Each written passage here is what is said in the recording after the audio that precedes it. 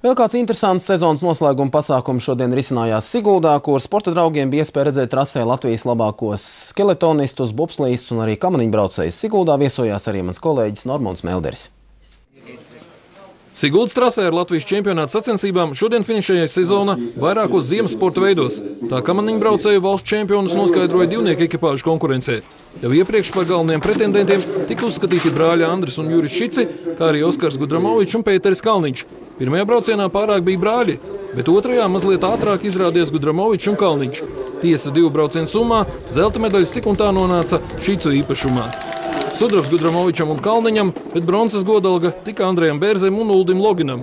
Bobslīstu sacensībās diemžēl nestartēja Edgara Maskalāna divnieks. Līdz ar to samērā stabili uzvarētāji godu ieguva Oskars Melbārdis un Daumans Dreiškens.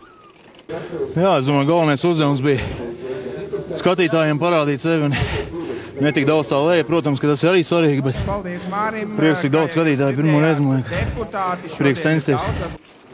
Par 0,44 sekundēm no viņiem atpalika un sudrabu nopelnīja Uģis Žaļims un Inters Dambis, bet laureātu trīnieku noslēdza jaunie Oskars Kibermanis un Elvis Kamšs.